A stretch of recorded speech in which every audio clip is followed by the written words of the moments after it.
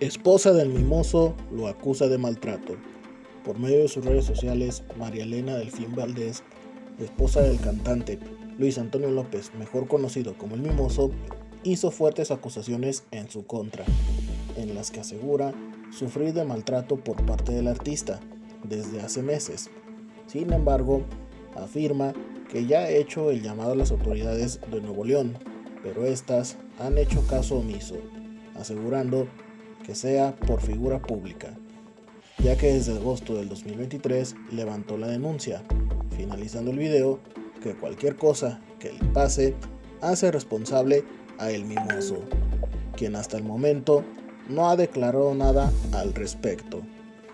Informó Edgar Rayo Villalbazo.